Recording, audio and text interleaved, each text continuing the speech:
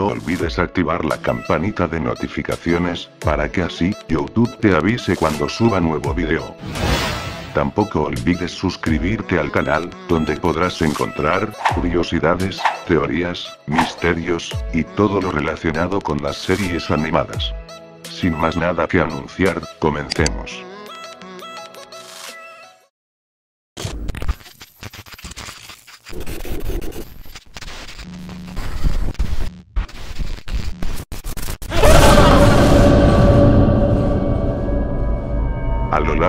Años, las series animadas han sido consideradas importantes para la mayoría de los niños, ya que algunas series animadas, como Dora la Exploradora, incluyendo a otras, ofrecen juegos interactivos, para así mejorar la capacidad mental e intelectual de los infantes que la observan que algunas de las series animadas más relevantes, incluyan un índice de aprendizaje para los niños, no quiere decir, que todas las series animadas, sean adecuadas, o, presenciables, para el público infantil, ya que debido a la gran variedad de colores, que ofrecen algunos dibujos animados, podrían causar, tanto problemas en los ojos a los niños, como ataques epilépticos.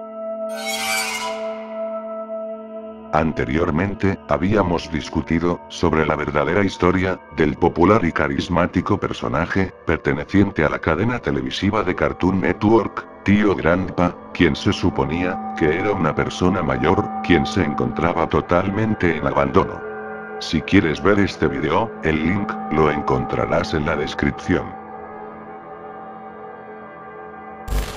El tema del cual amerita el video de hoy, es sobre lo que pasa, si miras el dibujo animado, Tío Grandpa, a altas horas de la noche, específicamente, a las 3 de la mañana, y debido a que muchos infantes, han reportado sucesos extraños, e irrelevantes, al mirar esta serie animada en la madrugada, el presente día, he decidido mostrarte, los sucesos más impactantes, y aterradores, que le han sucedido a los infantes, mientras apreciaban esta popular serie animada, a altas horas de la noche.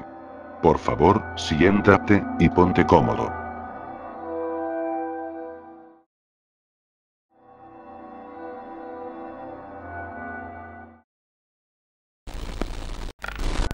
Hola Mr. Adrián, he venido para contarte, un suceso muy aterrador, sobre la serie de televisión, Tío Grandpa.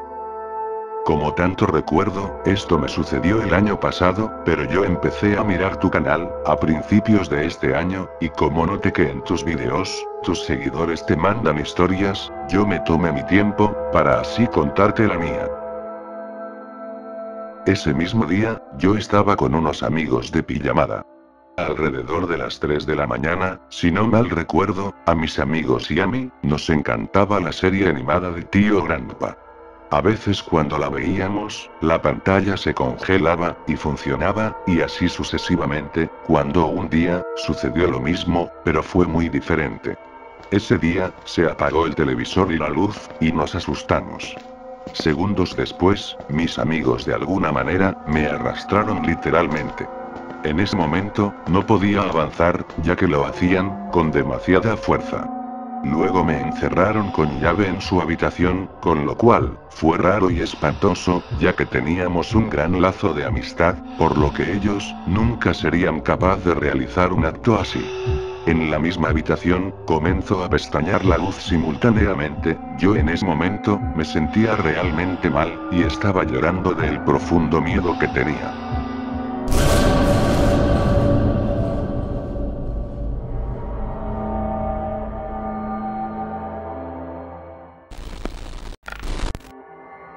Hola Mr. Adrián, te voy a contar un suceso, que me pasó cuando tenía 10 años.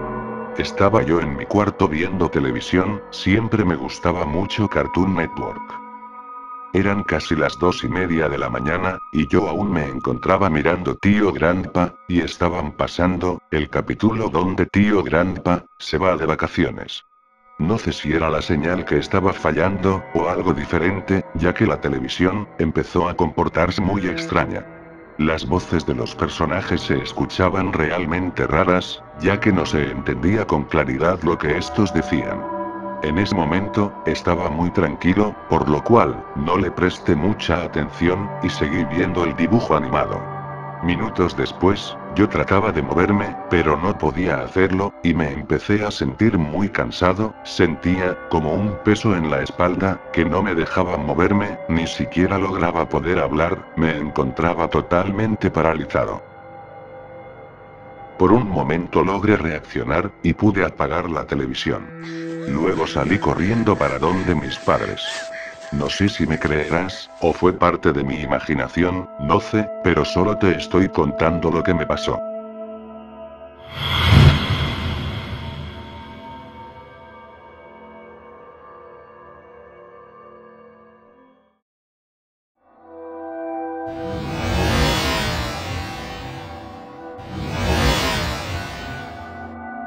Hola Mr. Adrián, ojalá recibas lo que le pasó a una chica pequeña, viendo tío Grandpa. Un día, fuimos a una fiesta a celebrar un cumpleaños, y estaba una niña pequeña viendo la tele, estaban dando la serie animada de Clarence, que no presentó problema alguno. Realmente, los episodios a mí, y a nadie, que yo conociera, le ha dado problemas al ver esta serie a un horario de la madrugada. Horas más tardes, fuimos a comer, mientras veíamos un programa, que tenía como título, Fin de Transición. Luego tomamos la decisión de irnos a la cama otra vez. Yo defendía a la niña, que no se metiera a lugares que causen problemas, porque mi hermano no tenía nada que hacer, lo único que hizo, fue jugar en la computadora, pero nada más. Realmente soy el único que estaba a cargo de cuidarla, salvo que cuando no lo pudiera parar, estaría en graves problemas. Tiempo después, la niña, dejó de actuar normal.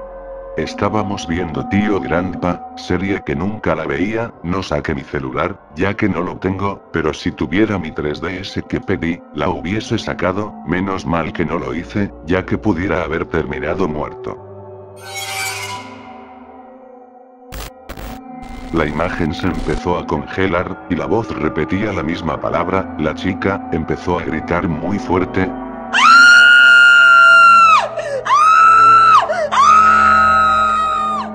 Yo la calmé, y ella me sacó la mano, realmente asustado la intenté llamar. Tiempo después me empezó a decir, vivo con un gato que tira arco iris en la cola, luego agarró una pizza, y le puso los lentes que utilizaba su papá, y le dijo, este es mi amigo Pizza Steve.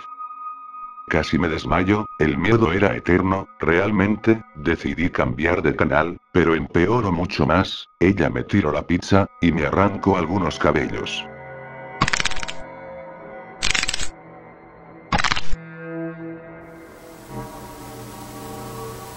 Volví a cambiar el canal, pero se había cortado el internet, estaba realmente asustado, decidí esconderme para que no me siguiera arrancando el cabello.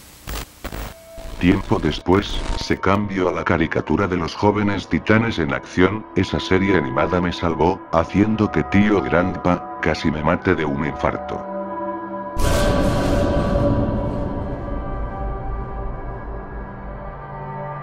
Luego decidí contarle todo a mis padres, pero no me creyeron. Por favor, haz un vídeo para que tus suscriptores no vean esta serie animada en la madrugada.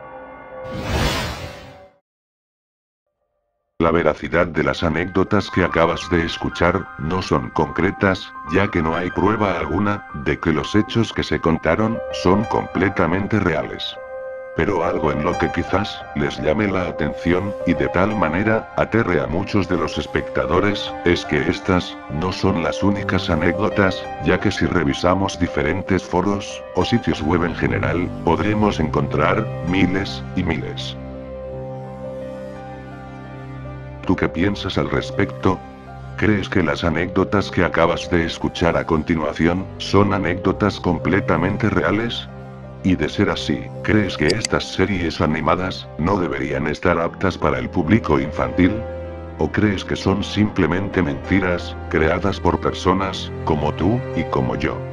Déjame tu opinión en la caja de comentarios. Envíame tus historias a mi correo electrónico. El link, lo encontrarás en la descripción.